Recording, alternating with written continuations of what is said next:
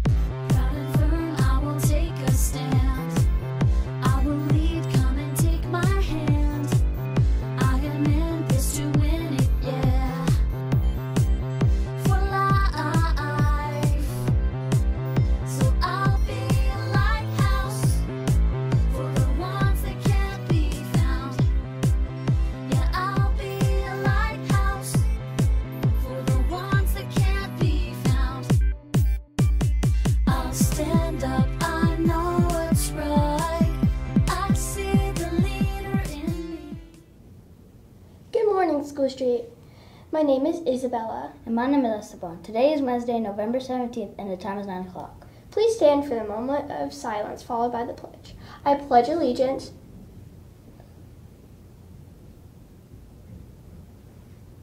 Say, I pledge allegiance. I pledge allegiance I pledge allegiance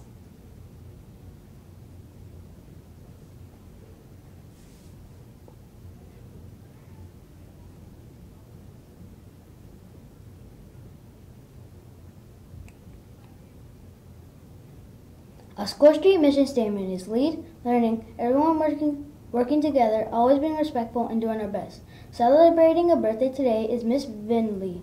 Happy birthday!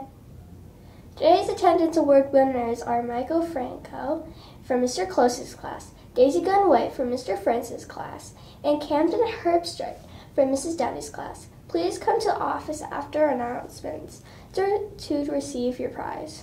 Yesterday's word of the day was sarcastic. The definition saying the opposite of what you mean, or harsh words.